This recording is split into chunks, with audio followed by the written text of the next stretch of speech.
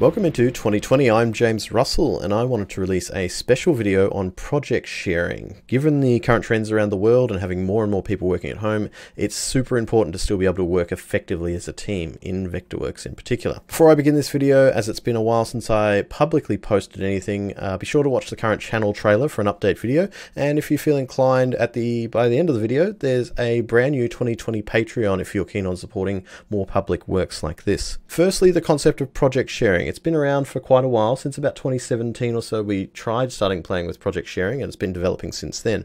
I'm going to do two examples from scratch today and I'll leave down in the video description the timings of some of these items that you might wish to jump forwards to. I'm going to keep most parts short and sweet, however, hopefully by the end you'll know exactly if project sharing is right for you and some of the things you'll need to watch out for along the way. Now, some important notes before we begin. Firstly, make sure that anyone that you're going to project share with has the same version of Vectorworks. It's fairly important because there are some changes in the back end there between 2018 through to 2020, so try and be on the same version if you can. Look, for some parts they will still work between versions, but it's best just not to play that game, really. It's also important, and this is a really big one for me, that you know the skill levels of the people you intend to share your document with. There is nothing worse than being quite an advanced user and sharing a document uh, with a lower user uh, who doesn't quite understand things. For example, if they're used to just using layers and you're using layers and classes, they'll start drawing things in a different methodology than you might be used to. It's really important to define those parameters first and understand someone else's point of view. If you are working with newer users, there's a higher chance of them breaking some of these chains of workflows. So sit down with them, have a discussion, talk through things first before you actually go ahead and distribute a drawing. And if you do notice things along the way, be sure to pull them up on them. Another one, it's really important that you have a clear chain of direct communication with anyone who's sharing your drawing and any of your files. Email is just not good enough. It's not real time enough. You should be on Skype, WhatsApp, Gmail messages, or Teams, MSN Messenger if you can find a working version. It's really important that you communicate and say, hey, I'm about to update. I'm about to change something. Uh, I've just pushed some things to commit. Can you check them over? It's so important that you go back and check in with people frequently because that's where things will be missed and that's where you'll have uh, between files on saving. Lastly, this isn't a perfect practice. Try as hard as Vectorworks might, it's a really tough thing to nail down between project sharing. Expect that you're going to break your working file occasionally. Expect that there's going to be conflicts between files and learn how to work around them. It's only through practice that you'll get this. It won't work perfectly the first time. You need to integrate it into your company workflow, into your personal workflow, working as a team. With a quick transition and through the power of movie magic, I now have two instances of Vectorworks running on my same computer. You'll see one here with a blue background, which is our primary machine at the moment, and we see one with a red background, which is going to be our secondary host machine uh, latching onto our project file. And you could do this with multiples. I'm just going to do it with these two for argument's sake. On the blue background, I currently have a very small project file. And like I said, we will do a more advanced tutorial after this, but I'm just using this as a very simple basic tutorial. I have got some white boxes in front of me. The first white box is layer A, and you can see that in my drop down menu, layer A, and I can touch all of the objects inside of layer A. My second drop down or second box takes me to layer B, which is all of this item over here. And then finally on my background layer, I'll just force select that now, I've got a Barco projector that I've brought in here as a symbol, just so we can have a look at how symbols are integrated into the workflow in a basic example.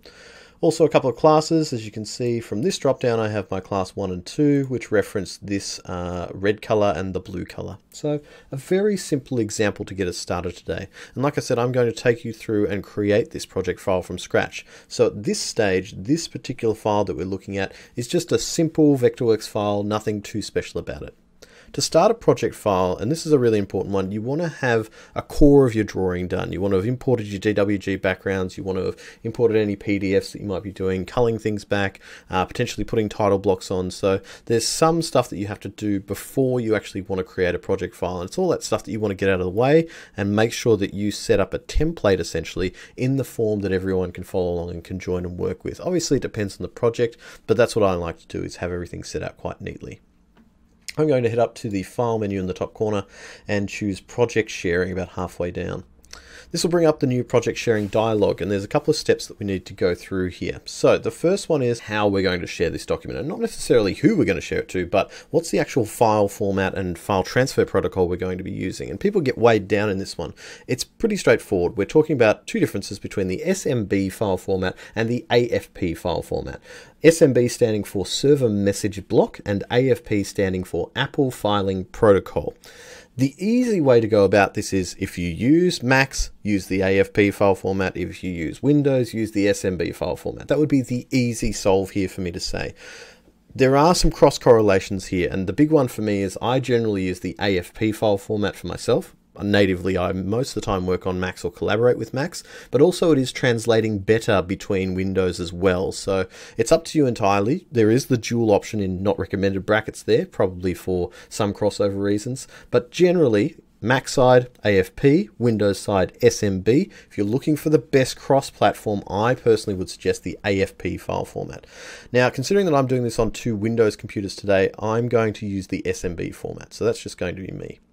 My next option takes me through to the users. Now, I just happen to have named this second client Evil Semage from a previous project that I was doing, so I'm just using that as a replication today. And so Evil Semage is going to be the administrator of this document today. Always, whoever starts this project file will automatically be an administrator. You can change it later, but there must be at least one administrator of the file, otherwise you'll get locked out. So don't hand over the keys until you've got yourself outside the car, otherwise you'll be trapped inside. There's a few other options in here in terms of adding users. We can add users in before if we know their credentials, if we know their name, we can allocate colors and other bits and pieces here.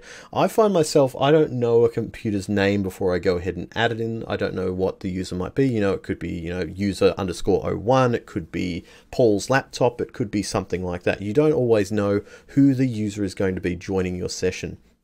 So I'm going to show you a different approach to taking that, which is down here under the default permissions for new users.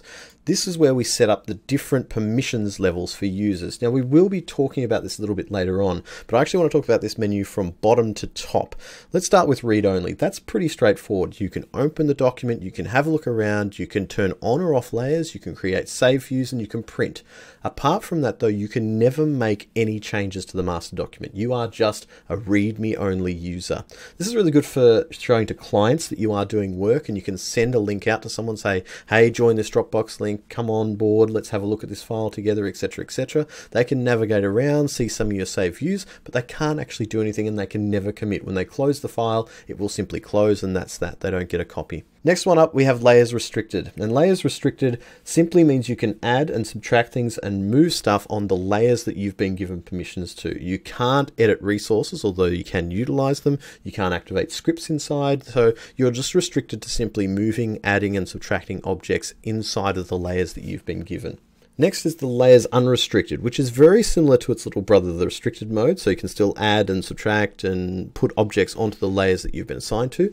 You can also, however, edit and add your own layers on top. So if all of a sudden you decide, hey, I'm a lighting designer, I've been given access to the lighting grid layer, but I'd also like to add a floor layer of lighting, you can go ahead and add a layer inside of there and make that your own, and then return that when you eventually finish with it. You can also set up save views and a couple other view parameters as well. So you're kind of just getting that next tiny little step up. One jump above that is layers and resources, and this is your, your typical worker. That's what you'll be setting up. They have access to the layers that they've been allocated or checked out, so that's all cool. You also have access to the resource browser, and so you can edit resources inside of there. You can change the colors of things. You can say make new trees. You can make new textures, new hatches. You have access to the resource browser, and so that's the next level of trust up. Next is the project level of access. Now this is pretty much you can access everything. You can edit resources, you can do everything that all the sub levels can do. The only thing you can't do at the project level is add and delete users. That's pretty much it. It's only administrative that gets to access who can come in and out. Everything else can be controlled by your project leads. And then obviously administrative just above that. Now there's many different trails of thoughts on how you should add users in, where they should belong. Realistically for me, if I trust everyone, then they're probably going to come in at layers and resources or project level. That's if I know who I'm working with. Otherwise, you can throw this down to layers unrestricted or layers restricted. It's somewhat up to you. Uh, for example, if this is an external contractor, they're probably going to go down into one of these two here. If it's someone that I trust in my organization, uh, organization they're going to go in here. So for today, I'm going to do layers. Let's do layers restricted as everyone will come in as the lowest form that we can possibly do down there. You can edit, you can delete, and you can actually import their permissions from a previous project if you've worked on them before, and obviously then your previous project knew their computer name, their username, all the things that would fill out this field. You can actually just steal all that info using the import project button. Next, we've got our layers. Now, this is what I was saying about master layers. Some of these layers we might want people not to be able to touch, as in no one can touch them. For example, here, my background layer, using the star column, I will make a master layer. A master layer means that no one, except for administratives and sometimes project, can edit uh, are allowed to touch this layer and play with this layer. This is really good for things that you know in a venue won't shift. So talking about the entertainment world here, you know that you're not going to probably touch your walls inside of a venue. You're probably not going to change the house rigging points, fixed rigging points in the ceiling, roof structures, floor structures, subfloor structures, things that in an event we wouldn't go ahead and touch. And then you'll have all these movable things like potentially seating banks, you know, they can interact with those, or uh, flown bars that they might want to move eventually, grids, uh, bars that they might want to take out. So those things you may want to still be actionable.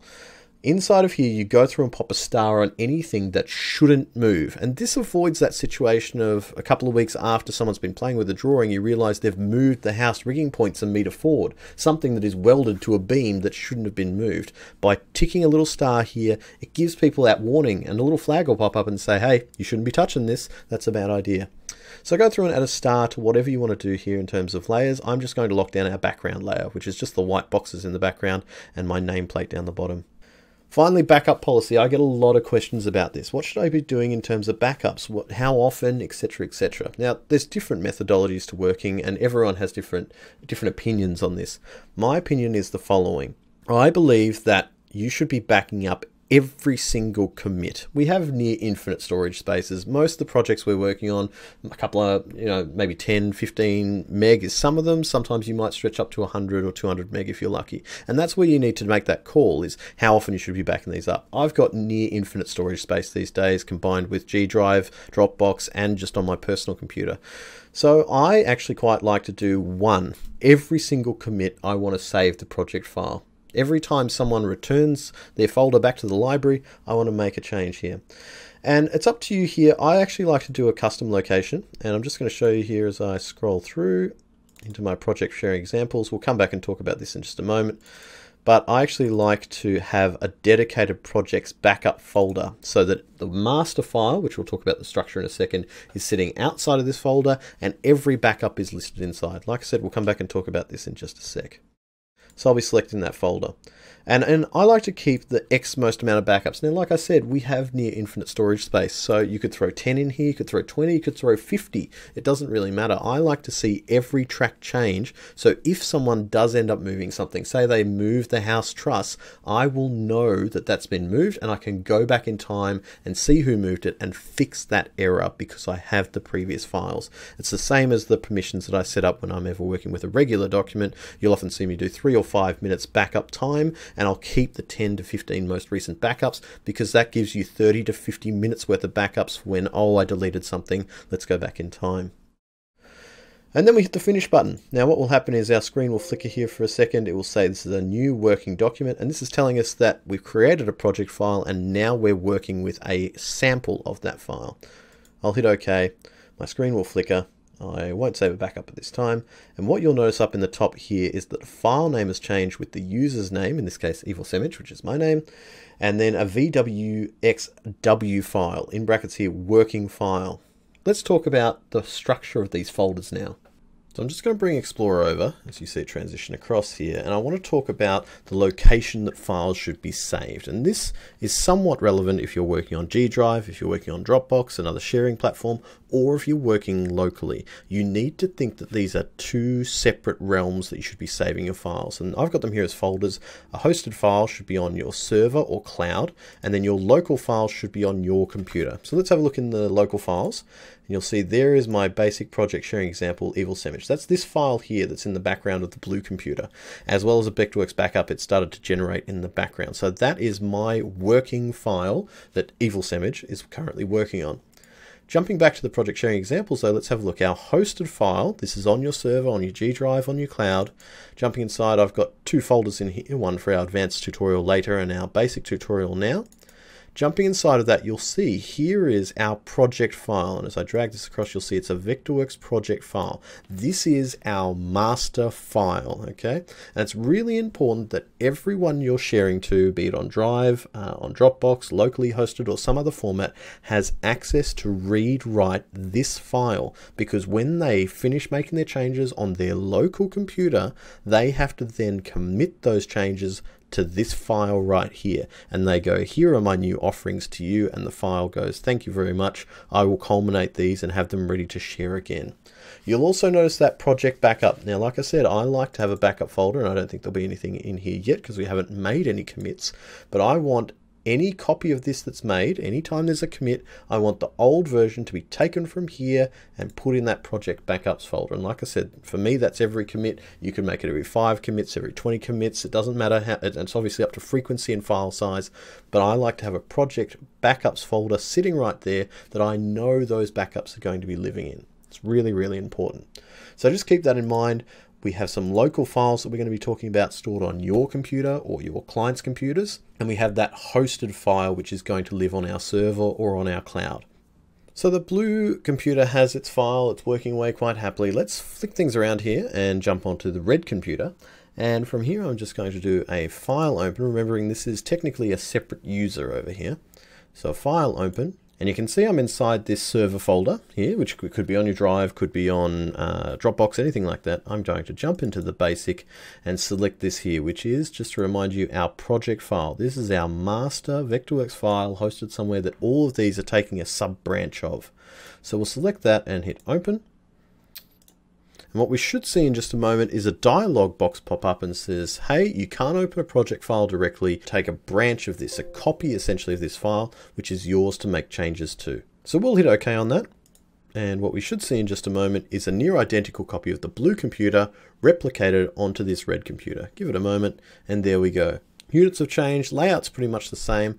The first thing I'm going to do with this particular file is head on up to File, and look at our project sharing settings. Jumping across to the users tab, you can see here Evil Semage is the administrator of this. We are currently logged in as Semage, who is a layer restricted user as we chose just before.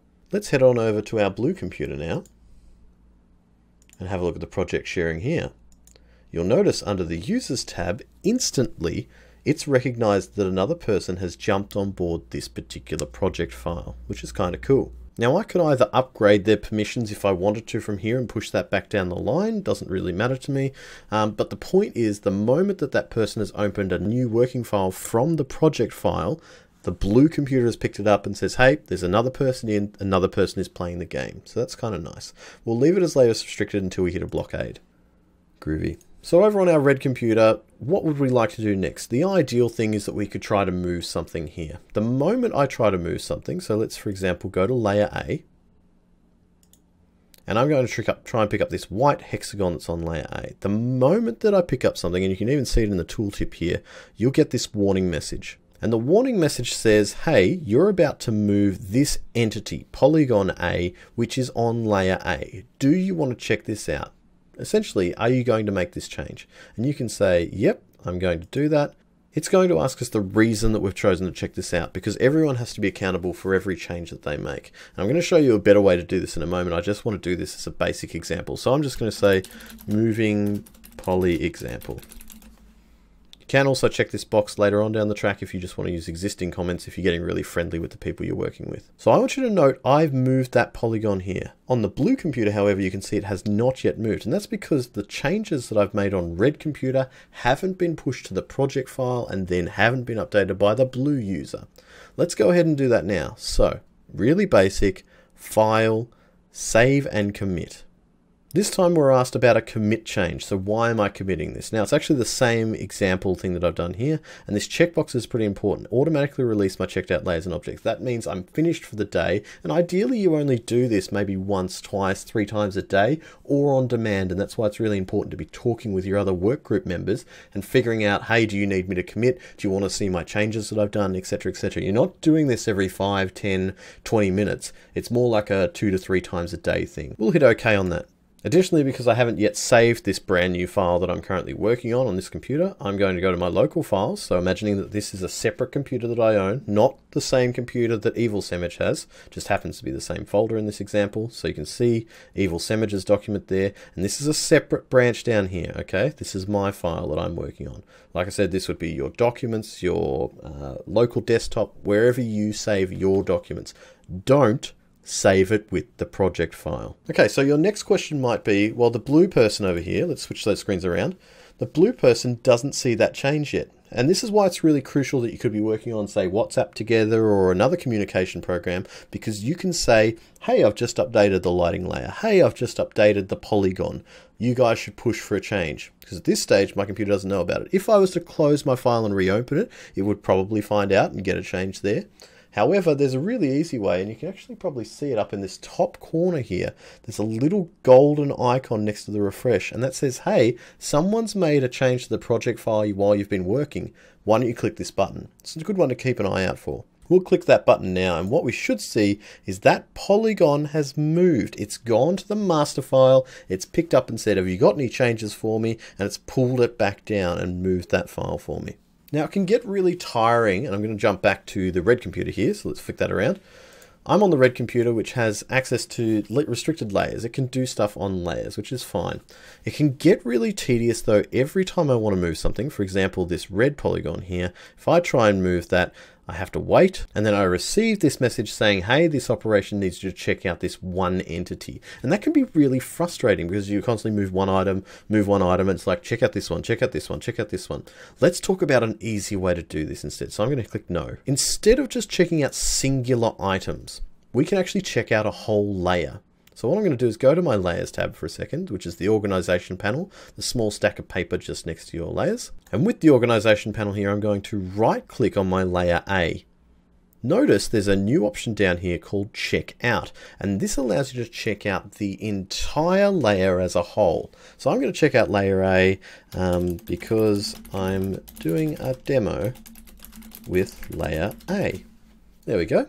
Now this could be a lighting layer, it could be story one of a house, it doesn't really matter. But this layer now is owned by me. And it means when I go back, all I can do now is grab anything I want on layer A and move it around freely because I own this entire layer making this really awkward and ugly, but that's okay. I own the entire layer. I don't own layer B, so if I was to touch something on layer B or the resources layer, I would get in trouble and that warning message would appear, but I can continually do things on layer A. That's really cool. Let's jump on over to our blue computer now, and I want to have a look at a few of these particular items that are on layer A. Now, notice, no update over on this side. The first thing I'm going to do, however, instead of trying to play around with these, is just go to my file, project sharing. From project sharing, I now get a very different overview of my layers. And I want you to have a look here. Layer A is grayed out currently, and it says the owner is Semage. Checked it out on this date. I've modified some stuff around here. And the comment that I put with it is because I'm doing a demo of layer A. That's kind of cool. So now if I try and grab that, and we'll just go over and say I jump onto layer A, which I can still preview and look at, and you'll notice it's grayed out as well here in my layers overview. If I try and grab one of these and move it, I'll get this error message. You can't do this because layer A is currently owned by Semage. It's currently owned over on that red computer. And so I'd go, okay, well, I can't do anything about that. Can I at least see the changes? Well, there's no changes committed yet up here in the top corner. So I might say, hey, James, I know you're working on layer A at the moment. I can see that, and that's cool. I'm just wondering if you can show me your updates and where you're up to. And I'm still working on the red computer. Let's flick that around.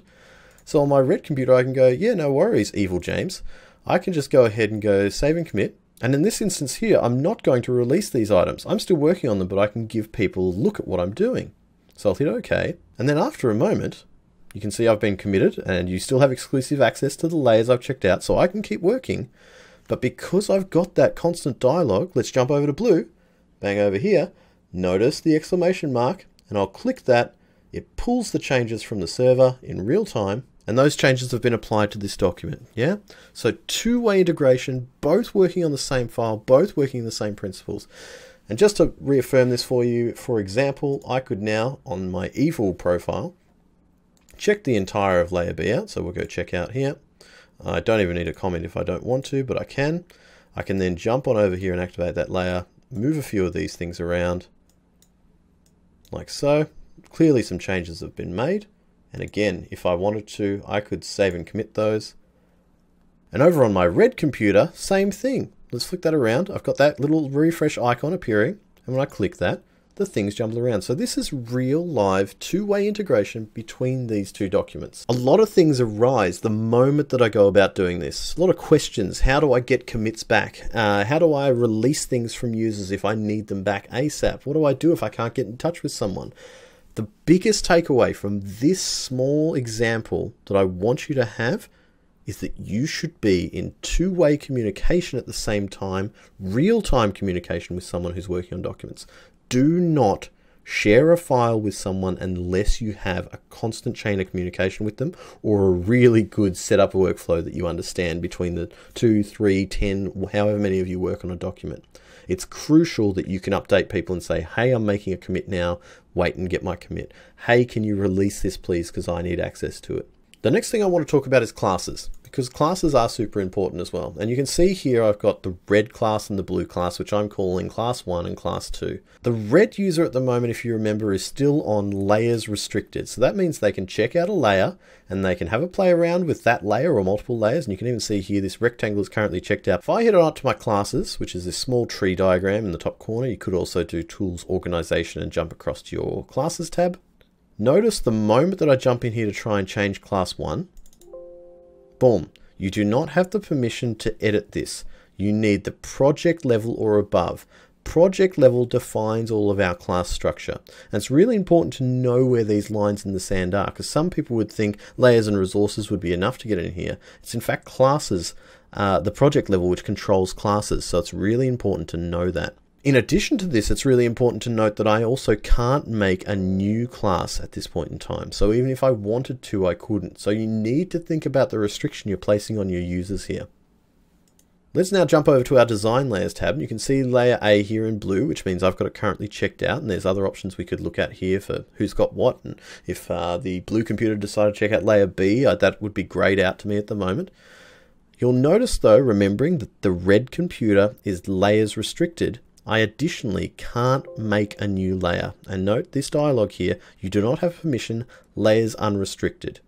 So let's go up a step here.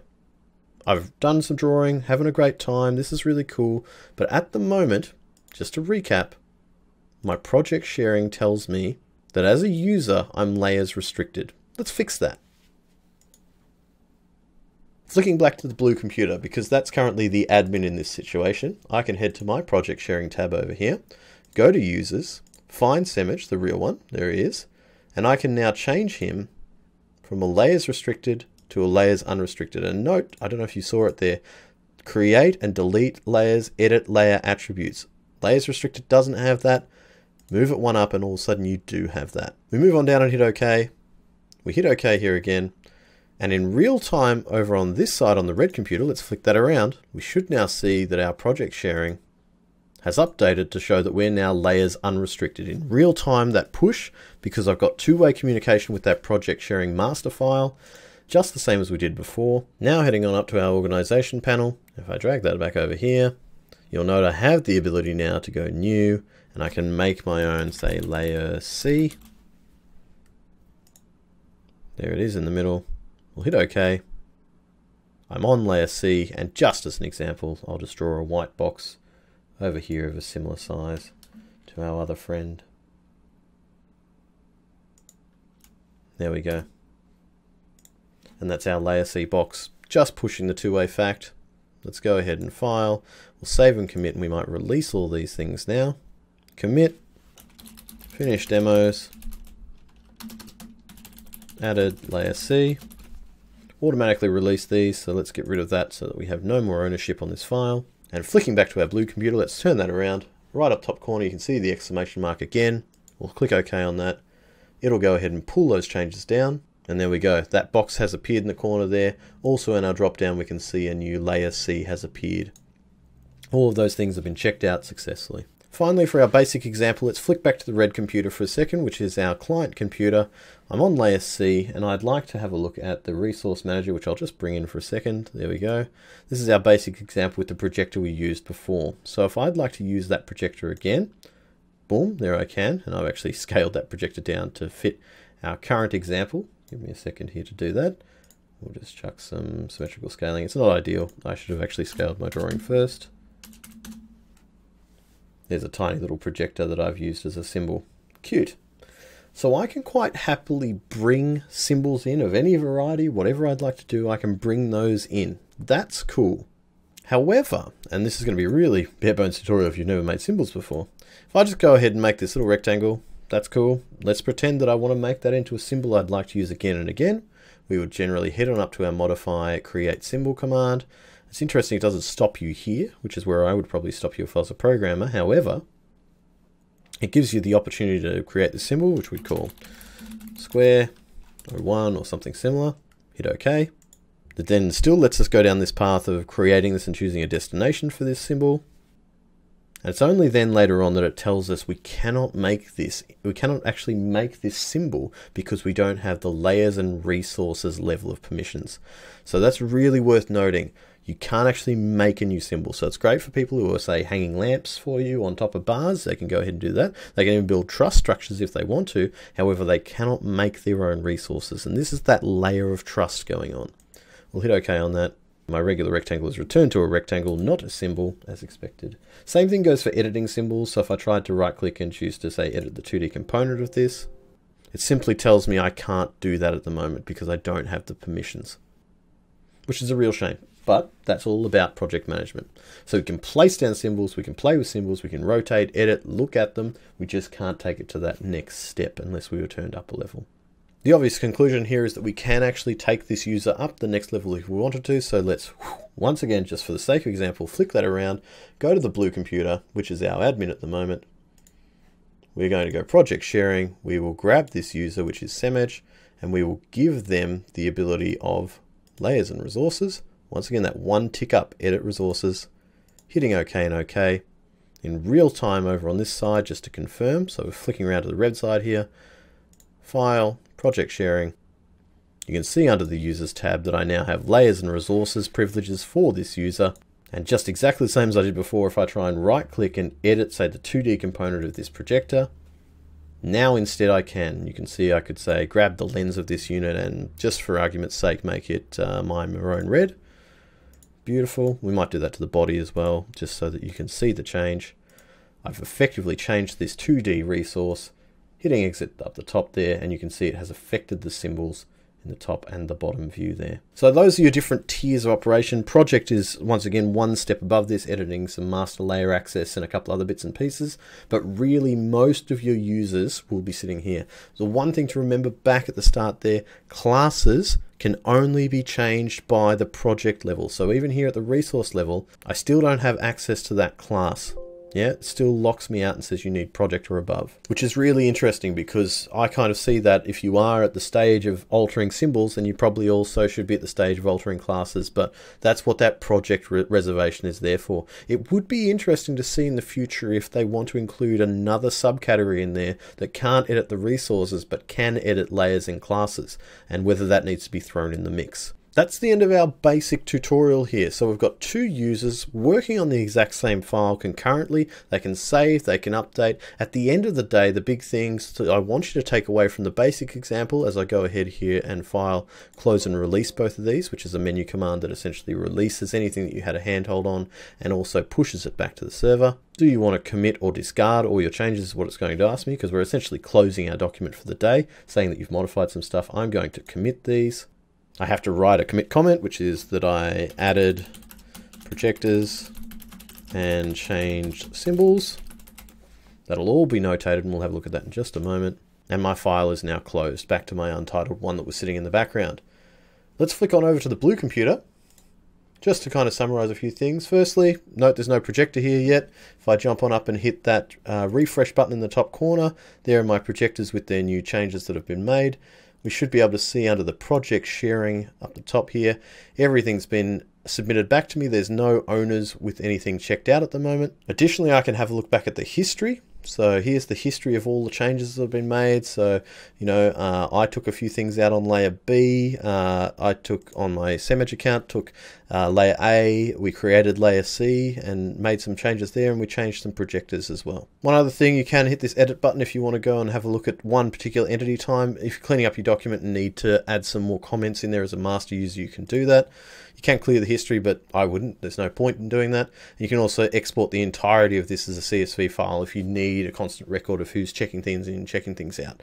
So this is really, really cool. Last thing, just quickly talking about it. If you remember the backups, and this is what I was talking about earlier, one commit. So every commit, make a custom backup in this backup folder and keep the most 10 recent backups. And if I go ahead and grab that folder that we were talking about before, here's our basic example folder. Pop that about here you should see in this project backups, here's the previous major commits, all of them being saved back in time, and I can open each of those individually if I wanted to, or recover data from them. If someone deletes a master truss, I can pull it back out if I need to. So it's really important to me in particular, particularly while your file is quite small, just keep those changes coming. So let's close that, close that, and let's look at an advanced example now. Welcome now to the advanced tutorial. So knowing everything that we built up over the basic tutorial, we're going to put it in practice in one of the jobs that for me didn't go ahead, but I still did a design anyway for it. We're going to use it for this practical example today. Same as before, blue computer there and the red computer still running on the other side. So two independent users, Evil Semage being the one that has the picture on it at the moment, and uh, Real Semage being the one that is in red up in the top corner. So this little project I was designing, I think it was a 10 meter by 10 meter stand for interactive for kids aged 7 to 9. And this was to encourage them to learn about mining and control operations and other bits and pieces. So just to give you a look, this is the little stand that we uh, designed. Uh, didn't go ahead with this particular client, but it's a great one to use anyway. And you can see there's various bits and pieces in this design. The target of this would be installed in some sort of exhibition space, probably have lighting rigs above it, have other stands built in uh, in the same area, standard kind of blue carpet on the ground. Just before I go ahead and take this to its project uh, file state, I am just want to show you the layers listing quickly just so we can have a look at what we're talking about. I've got the stand build, very simple layer structure here. Obviously we could have multiple layers and multiple classes. I've kept things simple. I've got a hidden layer down here, which is some of my previous designs that I was working on. I've got the stand build, which is everything that you see here in the background. I've got an animations path track uh, on the layer above, and I don't really want people touching that necessarily. And then I've just got a temporary truss layer above for a lighting designer to come in. Whether it's me or someone else, didn't know that at the time. So knowing all of that, I'm going to hit OK. And this file here really is pretty much ready to go out to Project Share if I'd like to. The one thing I'd advise you to is never send a project file out either, and I know there's a lot of things here to remember. Never send it out in a rendered form like I've got it here, so always try and return that back to a plan form, which for me looks something like this. Uh, it just means that when that person first loads that project file, it's not so intensive on their GPU and CPU powers. So there we go, got my lovely little stand in a plan view at the moment, and I'm going to head to File, project sharing. Quickly running through these as we have learned about a lot of them in the basic. Choosing between SMB and AFP, once again, Windows versus Mac is somewhat the easy mode here. Um, I'm going to choose SMB on the Windows platform today. Administrative users, there's me, Evil Semage yet again. How would I like people to come in? Now, I'm pretty trusting in this particular project, so I'm going to bring people in at the project level. And that's mainly because it's me working on it. I trust me to work on that. So anyone coming in will be project level. Classes and layers. Now, like I said, I want to lock the animation layer down. I don't want anyone touching that. And I'd probably like to lock down my previous designs. I don't really want people playing with those. They can have a look and play with the stand. And ideally, this person coming in, the other version of me, is going to be a lighting designer placing some truss and lights down for me. Lastly, my backup policy, once again, I'm going to do every one commits. Uh, I would like a chosen location, in this case project sharing examples hosted file advanced and inside of that folder I've already made a project backups just to keep things neat in my file structure. And I'm going to once again keep the 10 most recent backups just because this file even though it is 50ish meg uh, I'm going to keep backing it up every time. We'll hit finish there. Things will flash around for a second and it will say hey you've made a project file. Now you need to open the working file. We'll hit OK noting up in the top here it's actually already done it for us there we have a new working file. Additionally, I just want to show you, and I'm going to bring my Explorer window across. This is our Windows Explorer inside that cloud hosted file, wherever that might be again. Drive, Dropbox, could just be locally hosted, whatever you need. Inside my advanced folder, this is my project file. We don't want to touch this fella. He's very, very special. We're now taking branches off that project file to work with. Now that that's all done, let's flick over to our red computer. So the red computer, same kind of deal. We're going to go File, Open, We've landed in the same location as before, we're on our cloud hosting, and because we don't yet have a file, we have to request one from the project file. So I'll jump into the advanced folder, there's our project file, and the moment I hit open on that, a request is made to the project file and says, hey, I'd like to uh, join the project file, and this document has to be duplicated and then becomes a working file. So we'll hit OK.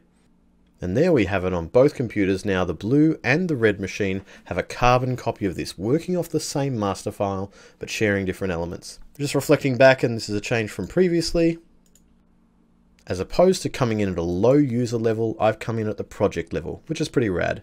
Now, as previously mentioned, the red computer is going to be filling the spot, in my case, of a lighting designer. So we're going to go to our layers listing, and then we're going to go over here and take the truss layer instantly and check that out. The checkout reason in this case is going to be, let's call it editing truss. It's actually creating and editing, we should say. So that's my reason for checkout.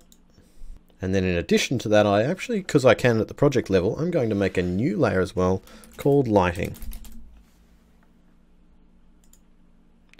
This layer will actually automatically be checked out because I've made it and it's, it's mine essentially. So now I'll hit OK.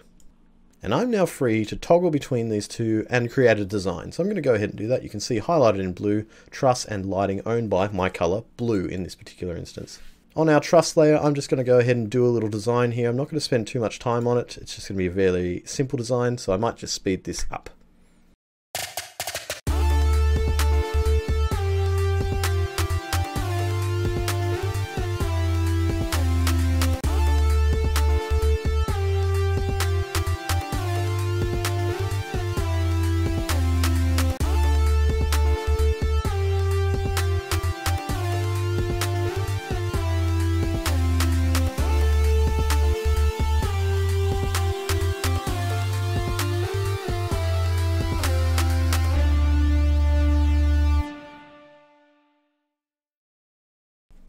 So after that brief intermission there, uh, you can see that I've made my stand up, which is kind of nice. Uh, I've been a lighting designer. Look, I'm not I'm not the best one out there for sure. I've just hung a few lamps and a few hoists in place, but this is my final result is this C-shaped truss above the stand. Just a few um, Fresnels hanging directly downwards. Obviously, I would focus those in 3D later, assign them attributes, give my hoist labels, do my braceworks assessment, all that kind of stuff.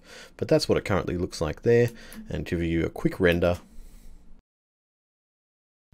noting that my world has gone dark there because I don't have a global light source at the moment, but you can see that this is now ready for action.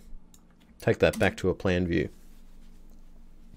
Having a brief look at our blue uh, representation up in the top right hand corner, which we haven't done anything in the blue document, it's been a very lazy day in the office for blue, uh, whereas red's done a fair bit of work. We want to update blue with our progress essentially. So blue could be sitting there going, hey, have you done much work? What are you up to? Etc. Etc. And we've said, well, we're actually finished for the day. I'm ready to check out and let you do some work over there. So let's have a look at how that collaboration could work. The ideal workflow would state that either red would message blue and say, hey, I'm about to do a commit, is that okay with you? Or blue would message red and say, hey, are you done for the day? Can you please commit? Either way, it's really important to have that dialogue happen. As soon as it's done, up in the top here, we would do, a, I'd do a file save, which saves the work at my end, which is really good. Note this dialog, your changes have been saved to your working file, but not to the project. That says essentially you haven't returned stuff back yet to the project file, so no one knows those changes. So that's me saving on my side of things. And then if we are done working for the day, we would head to File, and we would hit Close and Release. Once again, the Save and Commit option is there, so if you want to keep working and just update people, you can without closing. In this case, I'm going to choose Close and Release, meaning I'm done for the day. This dialog appears here asking us if we want to commit or discard our changes. This is talking about do we want to update the project file, which yes we do by committing our changes. We'll then be asked to give a commit note. What have we actually changed? And our comment from the hire before is actually still relevant. Creating and editing trusses. I might also include added lighting layer and hung lamps. There we go. We'll hit OK and this is essentially updating the project file. That took around 10 seconds to save that file, but let's flick back over to Blue. Now, as mentioned previously, Blue still has no idea about the lighting changes. So if we have a look in our drop down, you can see we don't actually have the lighting layer there. It does know, however, and we can check this out over on the project sharing side of things, it does actually know that there is a lighting layer that's been added over here and there's a truss layer. These have got commit warnings, which means essentially these are out of date for me and I need to go grab them. You'll also notice, once again, just repeating this in case you missed it, this little exclamation mark next to your refresh symbol in the top left-hand corner. This means pending changes that you need to update and receive. So I'm going to do that. And around four to five seconds later, there is my new truss layout. Brought back into this document, my document is up to date. I can have a look at that in 3D. Looks pretty good to me, and I get a clearer picture of what my lighting design has been doing all the day. Now this could have been done completely anywhere. Overseas, I could have had a designer from anywhere in the world updating this particular layer that I've essentially leased out to them for the day. Now because I haven't made any real changes here, I've just updated my file, I haven't actually done any work. If I just go File, Close and Release, I don't actually have anything to release, so my file will just close. If I'd changed the carpet, if I'd changed the stand layout a little bit, I would have been asked to commit those changes, but that's it, I'm done for the day. And everyone's signed off here in the office. Hopefully this has given you more of an overview of project sharing as a whole and the takeaway tips that you should be thinking about in your mind, which I'm going to pop on screen for you yet again, Collaboration with others. You should always, always, always be talking direct IMs. Um, email just isn't quick enough. Talking to the people that you're collaborating with. Make sure you trust them. Make sure you know their skill levels. That's really, really important. And just remember, this isn't a perfect practice. We haven't covered things like what happens if you break your project file here today. What happens if you have a broken link? What happens if two people try and commit at the same time and there's a save overlap?